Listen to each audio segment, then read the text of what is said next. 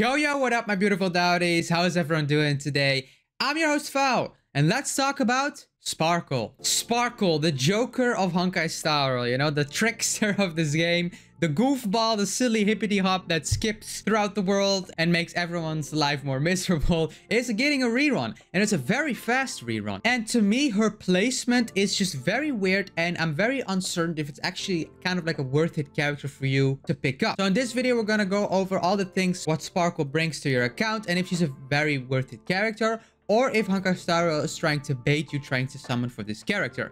So let's get right into it. Is Sparkle still worth it in Honkai Star Rail? Sparkle is a very interesting Harmony unit. I think Sparkle is one of the more unique characters in the game, if not maybe top 3 uniquest characters in the game. For me, she brings something that no other character does, and that is increase your max skill points. The maximum skill points that we have is 5 and with Sparkle on the field or on the team that increases to 7. And this is a very interesting and crazy thing to think about, right? She really just maximizes a game mechanic. That's just very interesting to me and that's something considerable if you really struggle with skill points or you have high SP hungry team compositions. She will 100% be very valuable for that. However, we are in a meta right now where Sparkle is maybe a little bit awkward or has no spot. If you look at all the Acheron teams, Sparkle is a Harmony character, Acheron wants Nihility characters to really be supportive. Unless you have E2 Acheron, of course, but normally Sparkle doesn't fit there. Then we have all the break teams, you know, Firefly, Boothill, those are very meta right now. And yet again, those want break synergistic characters. We want Harmony units that have super break, like the Harmony Trailblazer, or Ruanmei, that further enhances the break capabilities.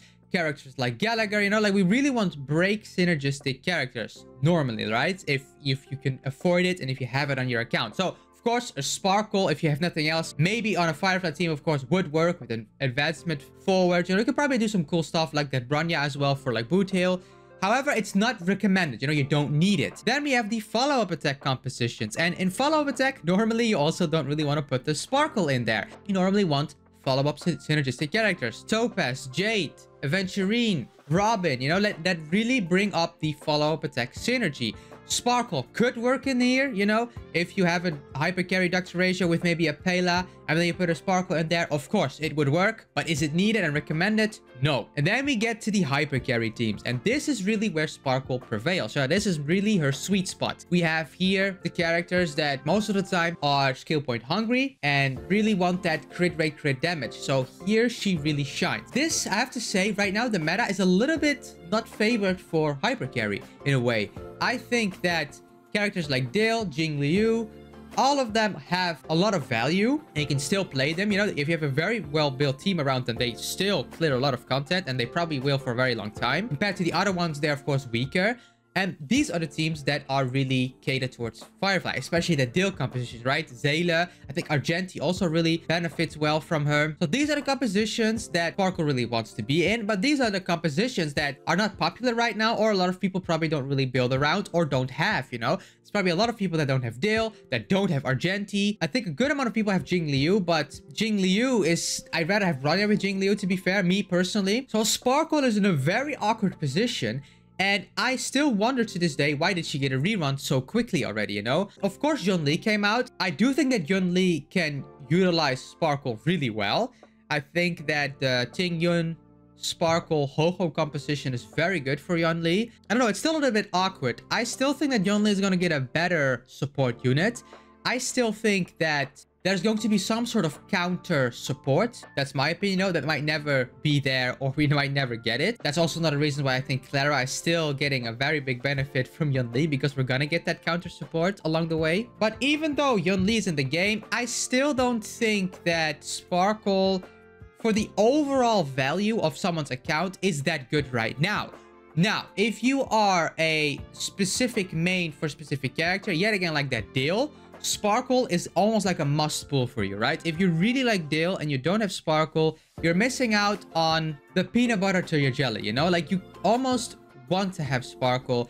Yes, Dale will work without Sparkle, but Sparkle just takes him to a whole nother level, right? And that's why this rerun is weird. When Imbibitor Lunae got his re second rerun, then Sparkle was the new character after that, you know? And then they really were mean in a way, where they always do this Hoyoverse, where they always put banners back to back to back, where they are synergistic. Now, of course, Sparkle is probably that synergistic banner for Yun Li, but I'm gonna be honest, if you are pulling for Yun Li and you're pulling for Sparkle, that's a bit rough, right? We got that Ruanmei Firefly banner, and now everyone is kind of low on tickets, most of us, most of the free-to-play players. And if you know all of a sudden invest in Yun Li and Sparkle, it's a bit weird. And I think you're missing out on a lot of cool upcoming characters or very strong upcoming characters. If you're an Acheron main, you want that Fox Bueno JQ. Fei Xiao is coming up. I'm very excited to see how strong she's going to be. Lingsha is going to be a very interesting sustainer, I think. So there's a lot of upcoming characters and also way more after that that are probably going to be way more interesting than a Yun Li and Sparkle. Now, for fun, you know, people that just really like Yun Li's playstyle, probably a sparkle on that is going to be nice. But then you're all of a sudden again at zero tickets or you probably don't have enough tickets after Yun Li in general, you know? So sparkle is a very big choice for a lot of people. And I actually think that sparkle is a bait right now. In this period of time, Sparkle is a character that I would not recommend if you do not have a certain amount of characters. And those characters are Dill, Seele, Jing Yuan, and of course, Yun Li.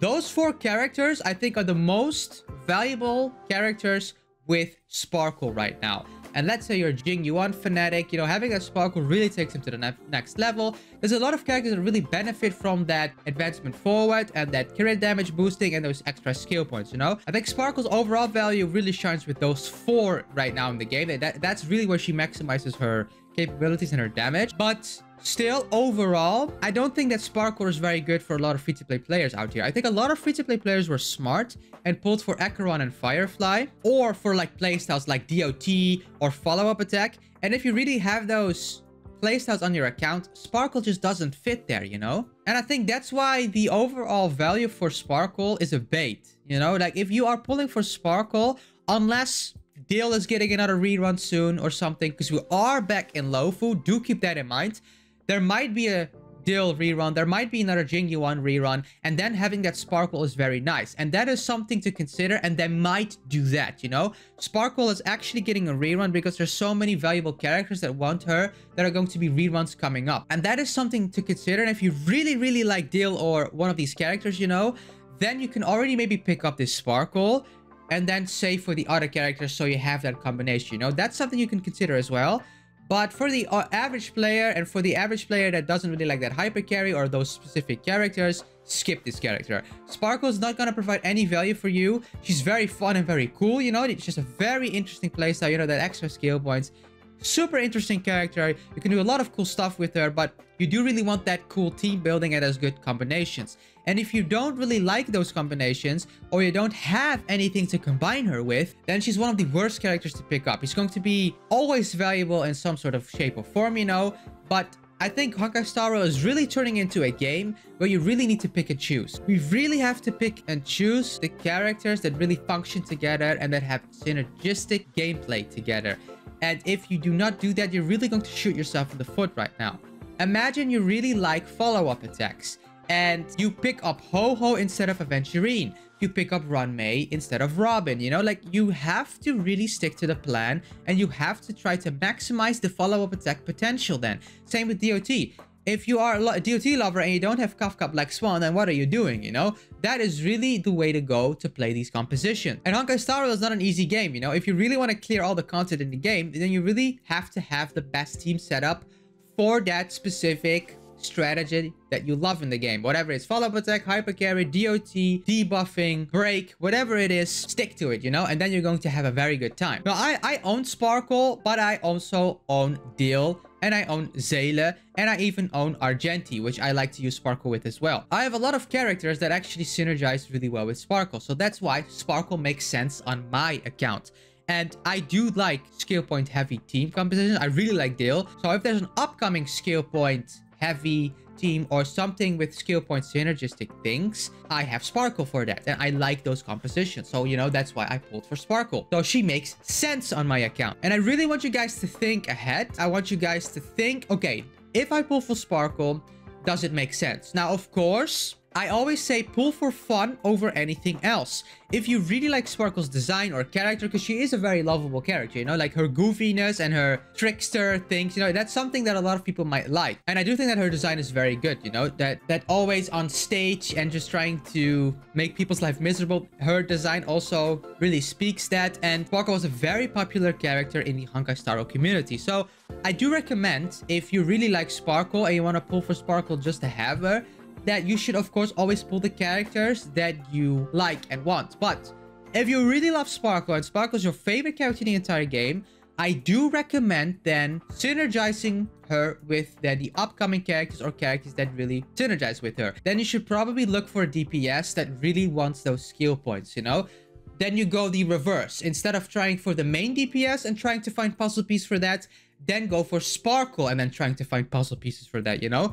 To really maximize Sparkle's value. If Seele is going to get a rerun again and you really like Seele as well on top of that, you know, then do that combination instantly so you get that value on your account. Stuff like that. And then you're just going to have an overall good run in Honkai Star Rail. Now, I do think that we're going to get upcoming characters that are going to get, again, that hyper carry role or that want maybe skill point friendly characters with them. And that's also something that Hoyoverse does really mean with, that they put Sparkle out right now thinking that she is a Yunli support. And then all of a sudden, we're going to get like an insane DPS that is really skill point hungry. Or like what I said before, that Dill rerun, you know? So do keep that in mind and think ahead again if that is going to be something that you want. Sparkle is a very strong character and 100% will give a lot of value for your account if you have those specific characters or that playstyle, you know? But if you are that Acheron lover, if you have that Firefly, that follow-up attack, whatever it is, then just skip this character. She's a gigabait, and I do think that the overall value that we're having right now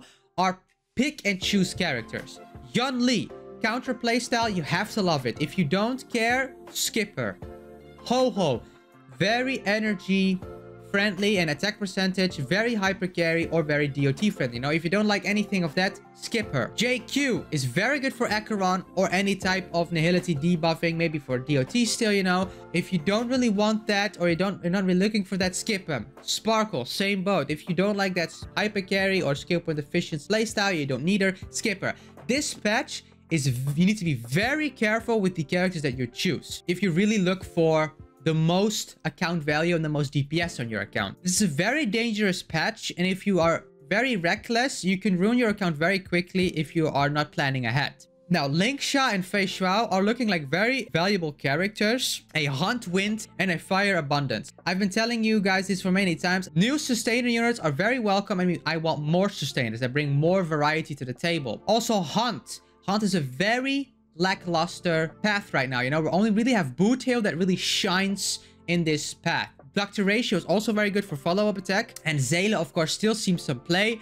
But I want something, you know, to skyrocket the hunt path to a whole nother level. And I think Fei Xiao is going to do that. You know, there's a lot of valuable characters coming up. So be very careful with the tickets that you are putting out on this character. Yes, Sparkle is good.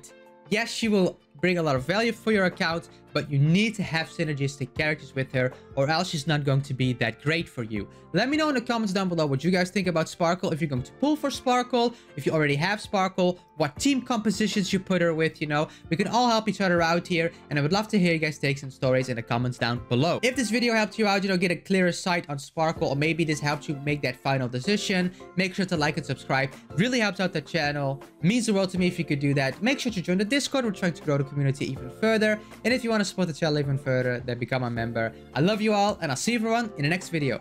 Take care. Peace.